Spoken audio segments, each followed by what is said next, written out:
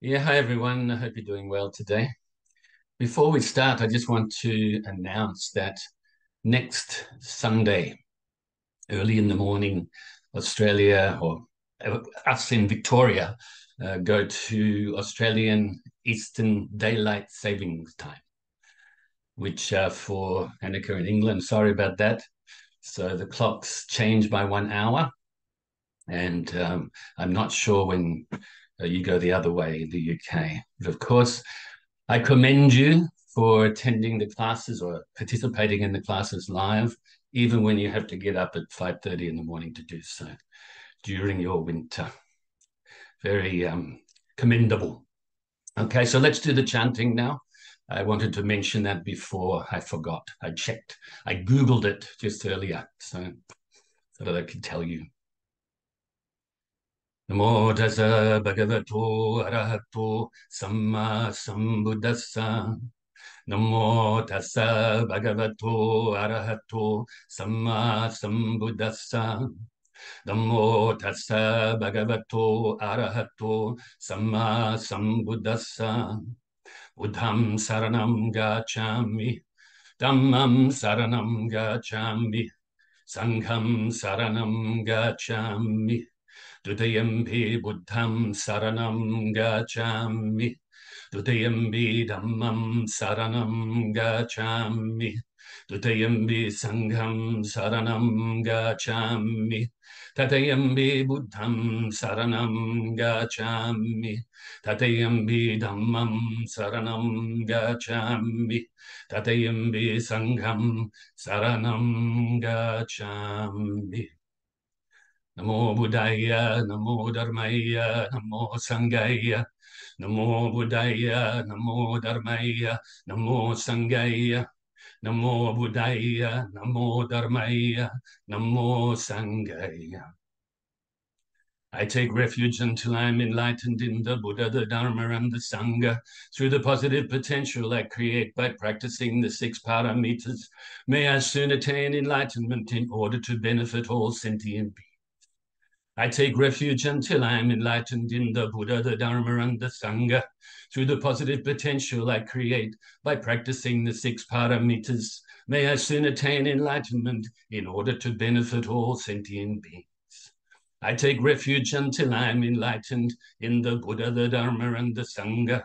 Through the positive potential I create by practicing the six paramitas, may I soon attain enlightenment in order to benefit all sentient beings. I take refuge until I am enlightened in the Buddha, the Dharma, and the Sangha. Through the positive potential I create by practicing the six paramitas, may I soon attain enlightenment in order to benefit all sentient beings. May all sentient beings have happiness and its causes. May they be free from suffering and its causes. May they never be parted from the happiness beyond suffering. May they abide in equanimity, free of bias, attachment to the near, and aversion from the far. I shall cause this. Great compassionate Buddha, please inspire me to be able to do so. Reverently, I prostrate with my body, speech, and mind, and present clouds of every types of offerings, actual and mentally transformed. I confess all of my negative actions accumulated since beginningless time, and rejoice in all the virtues of all holy and ordinary beings. Please remain until cyclic existence ends, and turn the wheel of Dharma for all sentient beings. I dedicate the virtues of myself and others to the great enlightenment. However innumerable all sentient beings are, I vow to save them all. However inexhaustible my delusions are, I vow to extinguish them all.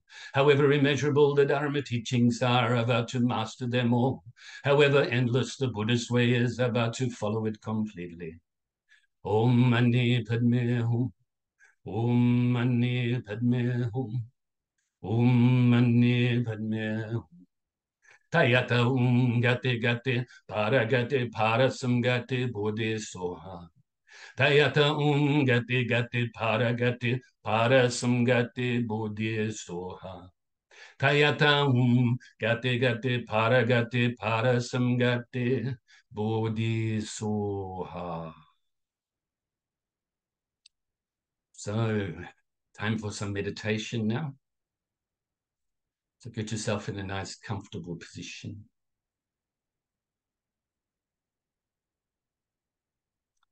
And when you are ready, bring your mind inside your body to release the tension from the body. And of course, as an effect of that, you release the tension in the mind too. Starting from the bottom of the body, from the feet, work your way all the way up to the shoulders, then down to the fingers, and then to the top of your head. So let's take a few moments to do this now.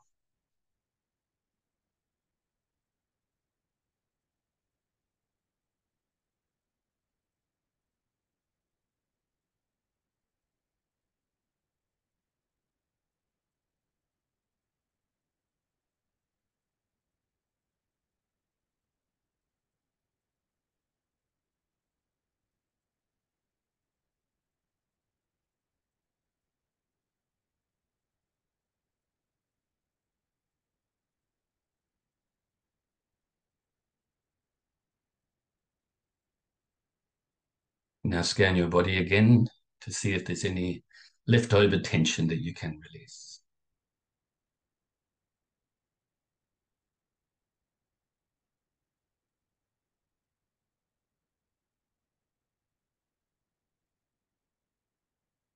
Now bring your mind to the tip of your nose initially and follow the feeling of the breath as you breathe in all the way into your lungs and then back out your nose again. Breathing in and breathing out, nice and naturally.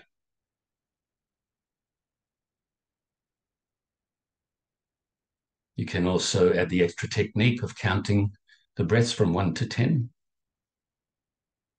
One in breath and one out breath is one, and so on. But if you get distracted counting towards 10, then go back to one at that time. So if any thoughts arise or mental activities arise, don't cling to them. Don't grasp at them. Don't try to force them away or deny them, but simply let them go naturally by replacing your mind back onto your breath. And if your mind starts to become sleepy or dull, then replace your mind back onto your breath more brightly. Refocusing or replacing the mind back onto the breath is the antidote. The more we practice, the less we'll have to use the antidote because the, the longer we'll be able to concentrate for and more clearly too.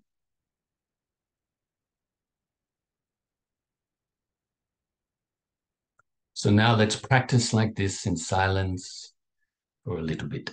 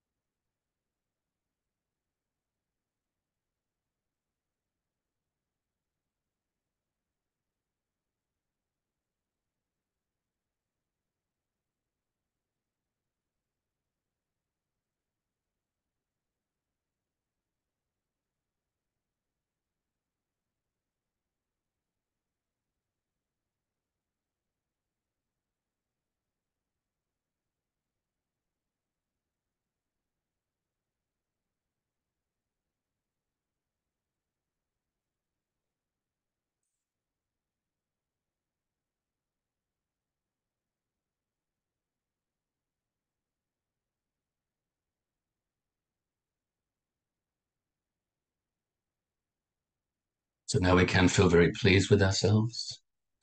Let's fill ourselves with universal loving kindness. Either just with the feeling of loving kindness, or you can utilize the visualization techniques of filling your whole being with white light, or if you prefer, white nectar.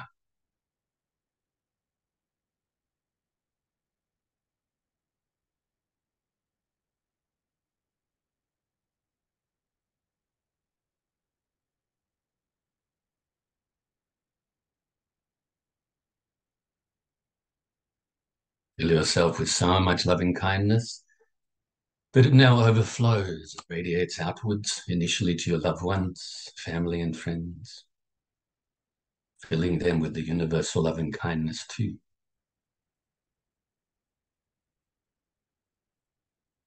Actually, I can point out here that all sentient beings have at some stage in the past been our relative, our mother, our father, friends, brothers, sisters, strangers, and enemies, and even pets.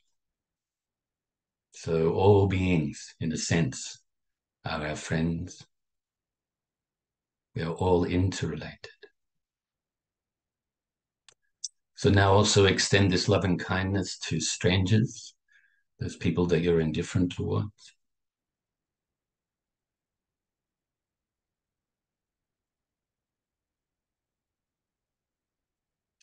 And also those you regard as enemies as well. May all these people be happy, have the causes of happiness, be free from suffering and the causes of suffering. May they be peaceful, filled with the universal love and kindness.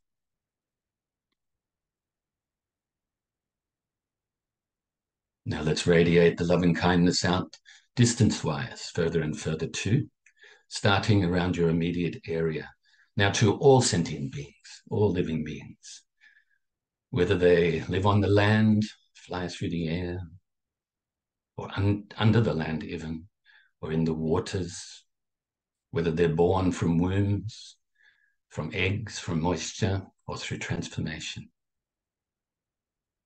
May they all be happy, free from suffering, and be peaceful. Extend this loving kindness that is generated in your own heart to all living beings.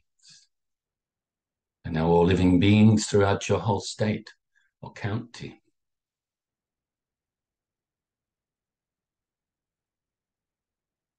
And other states and counties throughout your whole country.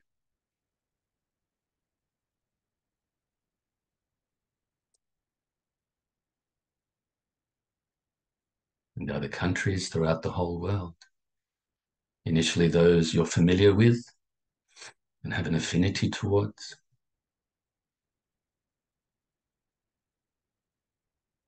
Those that you are indifferent towards, as well as those that you have some sort of negative feelings towards.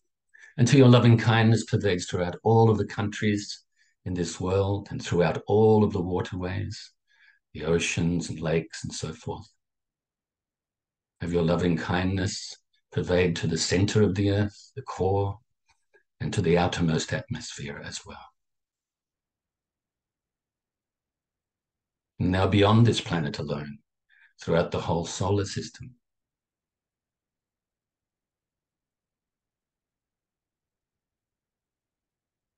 And all of the solar systems throughout the galaxy.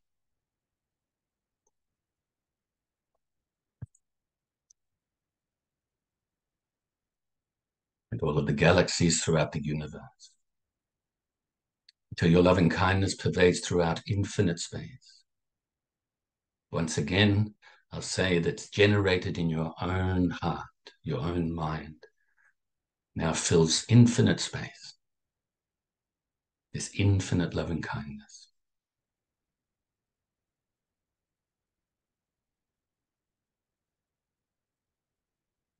Now just sit in this loving kindness and realize that we're all interrelated,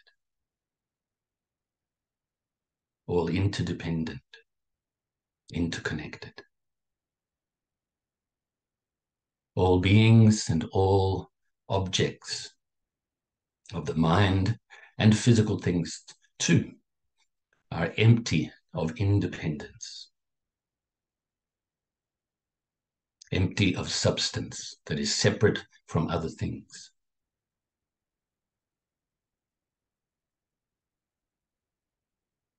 Actually, we should develop a mind like infinite space, able to perceive everything but don't get attached to it and remain unaffected by it.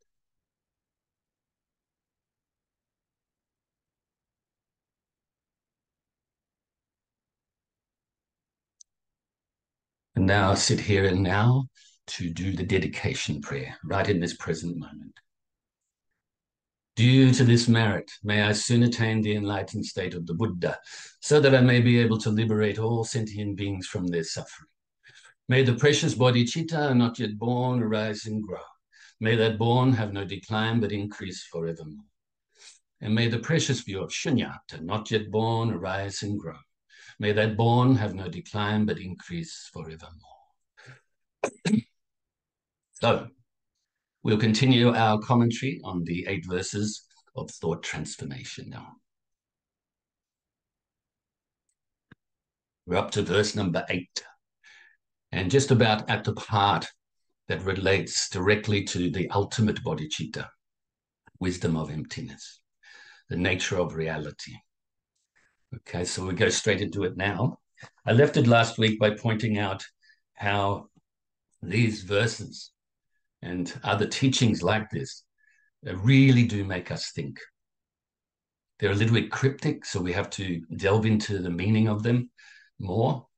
That's one of the reasons why they are um, really thought provoking, but also they are very deep in themselves. In, in their nature, they're very deep. So, uh, these types of attitudes and thoughts that spoil our practice, we should try to avoid, like mentioned last week. So, we should avoid self centeredness in our practice, be more open minded, and maintain the bodhicitta intention. What did I write down just before the class? Yeah, so not be defiled by these worldly winds and um, maintain the pure intention and don't misunderstand um, these the meaning of these verses Instead, understand the real purpose of the practice, which is to transform the mind. Okay, so um, I'll keep reading from there and then give, give, a little bit of commentary along the way. Um, so it, it is in, important to ensure this does not happen so that we keep our practice pure. As you can see, these mind transformation teachings are very powerful. That's where I left it last week.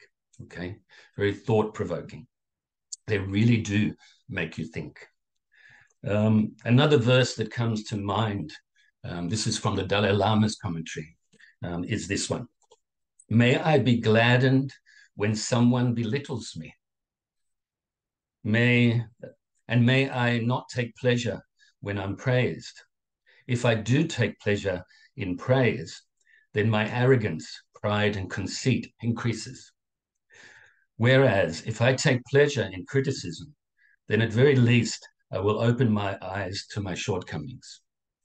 So we don't normally think like that, do we? Normally, when we get belittled, we don't like it, try to turn away from it. Um, and we do take pleasure in being praised. That, as mentioned in this verse, when we take pleasure in being praised, our ego increases, our arrogance, our pride, our conceit increases. Whereas if we take pleasure in that criticism, um, then we at least can make ourselves improve at that time. We will take, um, be considerate of that, you know, and considerate of others, others as well, and appreciate their criticism. Okay, so I'll, I'll read it again to you. May I be gladdened when someone belittles me. May I not take pleasure when I'm praised. If I do take pleasure in praise, then my arrogance, pride, and conceit increases. Whereas if I take pleasure in criticism, constructive criticism, then at very least I will open my eyes to my shortcomings and I'll add to that and work to improve, you know, decrease our ego, decrease our self centeredness, increase our compassion, or at least help ourselves to increase our compassion and wisdom. Okay.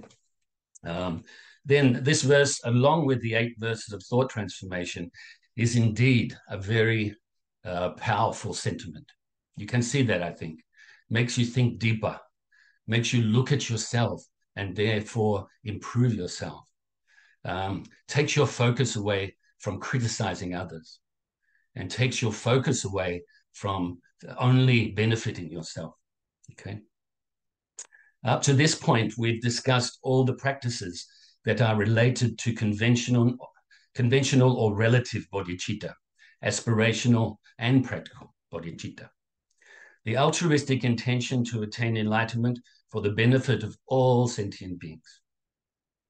The last two lines of verse number eight relate to the practice of cultivating ultimate bodhicitta, as mentioned before. Development of insight into the ultimate nature of reality. Okay, so uh, this verse basically it reads like this without these practices being defiled by the stains of the eight worldly concerns, by perceiving all phenomena as illusory, I will practice without grasping to release all beings from the bondage of the disturbing, unsubdued mind and karma. In other words, helping living beings to be free from suffering, uprooting the cause of suffering, the ignorance uh, that leads to attachment. Okay, perceiving all living beings as well as all objects of the mind and of the body as illusory. This helps us to develop more compassion. And likewise, being more compassionate helps us to develop the conditions we need to perceive the nature of reality. Okay? Um, where am I? Okay, the generation of wisdom is part of the bodhisattva ideal as embodied in the practice of the six perfections. As you know, the six perfections, we spent about eight or nine months on it a little while ago now. You have the perfection of generosity, the perfection of morality, the perfection of patience, the perfection of effort or enthusiastic perseverance, the perfection of concentration. The first five all relate to the relative bodhicitta, and then the perfection of wisdom, which is the ultimate bodhicitta, and the platform or the basis for which the first five can be perfected with the perfection of wisdom. Okay. Um, in addition, we should know that in general, there are two main aspects to the Buddhist path the method, also known as compassion, relative bodhicitta, or developing relative bodhicitta, and wisdom. They must be married together, practiced together in the long, long run. Okay. Both are included in the definition of enlightenment, which is the non duality of perfected form and perfected wisdom. Form in this sense means the method, okay? The actual practice of compassion, the practice of generosity, morality, patience, effort, and concentration to realize the supreme wisdom and then unify it, perfect it with the compassion. The practice of wisdom or insight correlates with the perfection of wisdom, as mentioned. The practice of skillful means or methods cor- correlates with the perfection of form or the methods to be put into practice to realize the supreme wisdom and compassion. Okay, this is, sounds like a riddle sometimes, but it's not. The Buddhist path is presented within a general framework of what are called the ground or foundation, the path, and the fruition. Okay, so the three aspects of the path, you could say. Uh, this can be enumerated in different ways, but this is really like the basis. So the ground, or like, I like to call foundation, is the two truths, the three natures as well, the relative and the ultimate truth. So realizing the ultimate truth, of course, but also realizing the relative truth, which of course is caused by cause and effect and conditions and so on. Okay, so this is the relative truth. In relative truth, of course, everything is empty of independence. Even the cause is empty of independence. The effect is empty of independence, and also um, them both together is emptiness as well. Okay, Excuse me for stuttering then. I put my teeth back in. Okay, so um, I, I do have quite strong hay fever, you could say, or allergies, which is making my mind just a little bit fuzzy at the moment, unfortunately. But that is life, as mentioned last week. The weather is uh, with the El Nino weather pattern, there tends to be more pollen through the air. The air is drier, so you don't have the humidity to kind of hold it down a little bit. So anyway, um, but you can Google that if you want to find out more about that. It's not an El Nino class. So, um, so I'll mention it again. The Buddhist path is presented within a general framework of what are called the ground, path, and fruition. Or you could say the foundation, the path, and the result of the path. Okay, so the as mentioned, the relative and ultimate truth is the foundation or the ground, but also the three natures as taught in the Lotus Sutra, where you have the um, imputed nature, because we impute a concept and words on, on everything that we come into contact with and think about. Also, the relational nature, how everything is made up and uh, due to cause and effect and so on. Then the ultimate nature, of course, which is ultimate truth. The path is basically the Four Noble Truths the noble truth of suffering, the noble truth of the cause of suffering, the noble truth of the cessation of the cause of suffering, and the noble truth of the path leading to the cessation of the cause of suffering.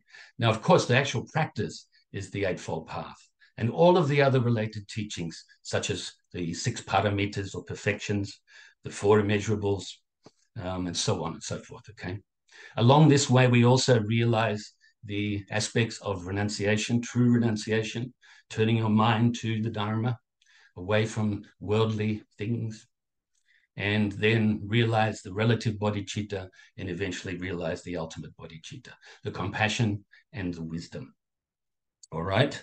Um, then, of course, the fruition, the result is enlightenment, is realizing these two bodhicittas, realizing the ultimate bodhicitta and unsurpassed supreme enlightenment, anuttara samyak sambodhi, or samma sambuddha. Okay. The ground, understand the basic nature of reality in terms of the two levels of reality. As mentioned, the relative or conventional reality and the ultimate reality. The path, we gradually embody meditation and spiritual practice as a whole in terms of method and wisdom, such as, for instance, the six paramitas, um, realizing the, the whole of the Eightfold Path, really perfecting it, okay, realizing all of the spiritual powers that we realize along the way towards enlightenment. So I'll, I'll reiterate that one. The path, we gradually embody the meditation practice and the spiritual practice as a whole in terms of method and wisdom. The result or fruition of the path, enlightenment itself, the non duality of perfected form or compassion and method, and perfected wisdom and unified, okay? Unified wisdom and compassion, to put it simply. This is enlightenment. This is the result of the ground and the practice. We have to have the knowledge, we have to know this ground to be able to realize what we're aiming towards, the purpose of our practice, for instance, to attain enlightenment. You know, we must know this, otherwise, we may go in the wrong direction. We must know how to put the Dharma into practice, how to practice the path by basing it on this foundational ground. Okay. So um, realize the result or fruition of the path, which is enlightenment, the non duality of perfected form or compassion and method, and perfected wisdom or insight. The first seven and a half verses uh, relate to the relative bodhicitta and to the form, as mentioned, and to perfecting this form and developing this compassion, this method. And the last half of verse is to realize the ultimate nature of reality and the ultimate bodhicitta.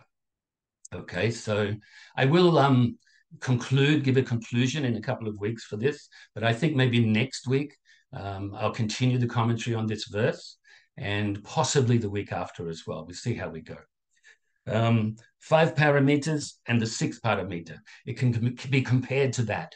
So the first seven and a half verses I like the five paramitas, the first five, and then the last half of the verse number eight is like the sixth paramita, comparing. I think I think you can realize that. Yes. Yes. Can I move on a little bit? Yeah, thumbs up if, if I can move on. No thumbs up? okay, good. All right, so the last two lines point to the practice of cultivating insight into the nature of reality, the wisdom of emptiness, in other words. Now, don't perceive, don't misunderstand, okay? Don't think emptiness is nothing. It's emptiness of a self, emptiness of separateness, okay? So it's very deep, very profound. Um, also, Buddha nature, you can say. Emptiness is none other than Buddha nature. Buddha nature is none other, other than emptiness, you know? They are kind of, so there are two ways of explaining exactly the same thing. Okay. I was asked once by a nun um, overseas, I think in Malaysia, uh, at the airport. And she said, What's your take on which is higher, Buddha nature or emptiness teachings? I said, How can they be separate? But Buddha nature is not separate. The teachings within, not separate. Then emptiness also not separate. So they are the same, different ways to explain something very profound, like looking at a house from the front and the back and inside and above and, and so on, okay? So the last two lines point to the practice of cultivating insight into the nature of reality, the wisdom of emptiness. But on the surface, they seem to denote a way of relating to the world during the stages of post meditation. So it seems like we're only talking about um, actually how you should practice in relation to everything you come into contact with.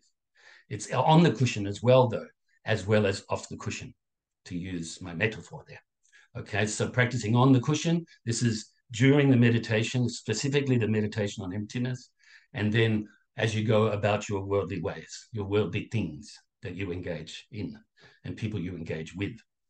And so um, on the surface, uh, these teachings or this, this verse seems to denote a way of relating to the world during the stages of post meditation. In the Buddhist teachings on the ultimate nature of reality, two significant time periods are distinguished. Okay, this is important to know. One, the actual meditation on emptiness. So the time that you sit on the cushion and meditate on emptiness. Then, number two, the period subsequent to the meditation session when you engage actively with the world, like I said, on the cushion and off the cushion. These two lines directly concern the way of relating to the world after one's meditation on emptiness, although they also help us to practice on the cushion. But specifically, we're talking about engaging in the world. How should we perceive everything that we come into contact with? All objects, like an illusion but still not give up the compassion because compassion is unified with the wisdom or should be unified with the wisdom eventually. So that's why we're going to work as well to help free beings from their karma, from their unsubdued mind, you know, to help them to realize enlightenment as well. Okay, so um, these two lines, uh, reiterate, um, directly concern uh, are concerned with the way of relating to the world after one's meditation on emptiness. This is why the text speaks of appreciating the illusion like nature of reality, which I alluded to just now. Because this is the way one perceives things when one arises from single pointed meditation on emptiness. Now, often people think that what really matters is single pointed meditation on the cushion, on emptiness, on the cushion within the meditation session. This is really important, of course, but also a lot of our time is spent off the cushion, isn't it? So we should take this understanding, this perception of emptiness, you could say, with us, okay? So that we can develop more compassion, be less self centered. Um, so I'll, I'll, repeat that. Often people think that what really matters is single pointed meditation on emptiness on the cushion within the meditation session. But the post meditation period is very, very important because, like I just mentioned, it's probably most of our time. Okay. But often people pay much less attention to how this experience should be applied in post meditation period. Okay. We pay less attention to it. So then we can fall back into our old habits, isn't it? Get attached to things, you know, think about ourselves, put ourselves above others, you know, rather than perceiving things from a mind of equanimity, right? The whole point of meditating on the ultimate nature of reality is to ensure that you do not, you're not fooled by appearances and then start to cling to them, grasp at them. Okay, that can often be um, the way it is, you know, because it's our habit to do so, to be confused, to be confused by uh, things that we're attached to, as well as those things we have an aversion for, and all other things too. So I will repeat that. The whole point of meditating on the ultimate nature of reality is to ensure that you do not, or you are not fooled by appearances. Um, that can obviously be um, sort of defiled. Our mind becomes defiled at that time um, because it's based on delusion, based on ignorance, and we want to try to avoid that as much as possible. With a deeper understanding of reality, you can go beyond appearances and relate to the world in a more appropriate, effective, and realistic way. So, once again, I'm repeating some of these verses that I've written um, for your benefit so you can remember them. Okay. And I can't think of better ways and um, to express them right now than what I wrote. Okay. So, um, if I do, I will give more commentary over time. This week, uh, for the, next one minute and 20 seconds, and also next week and so on. Okay. But right now, uh, I'm happy with the way these sound. With a deeper understanding of reality, you can go beyond appearances and relate to the world in a more appropriate, effective, and realistic way. With a deeper understanding of the nature of reality, when we are in post meditation periods, when we actually engage with the world, we will relate to people and things in a much more appropriate and realistic manner. I think that's very obvious to, to see, isn't it? So you should review this class again when you get time on YouTube um, or on the Facebook. I'll post it on Facebook later, as well as upload it to the YouTube channel later as well. Um, so I will give an example next week, uh, once again, of my everything song. Everything is like a flicker of a lamp and so on. It's like an illusion, like the verse says. So I rejoice in your goodness and your participation. I'm going to go for a walk now because the sun is staying, it's staying light longer into the evenings. So then I'll eat something later. Okay, take care. Practice well. Smile, inner smile, outer smile.